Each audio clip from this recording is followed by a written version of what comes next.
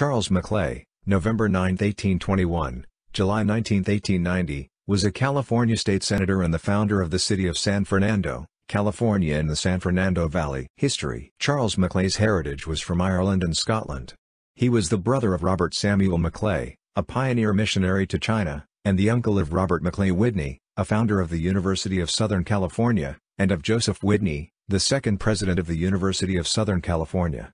Maclay was a Methodist minister. Charles Maclay became a California State Assemblyman in the 7th District from Santa Clara County, 1871 to 1872, and later a California State Senator, 1864 to 1872. San Fernando Valley, California. In 1874, Charles Maclay bought 56,000 acres, 227 square kilometers, of the Rancho Ex-Mission San Fernando land grant including the northern half of the San Fernando Valley north of the city of Los Angeles.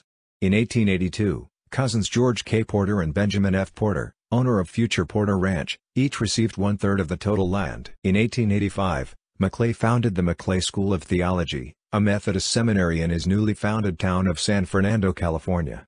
After his death it became an affiliate and moved to the campus of the University of Southern California before becoming the Claremont School of Theology in 1957. Legacy City of San Fernando Claremont School of Theology Charles Maclay Junior High School, Pacoima, California, in 1960, the high school opened in his honor. In the late 1990s the school was renamed the Charles Maclay Middle School.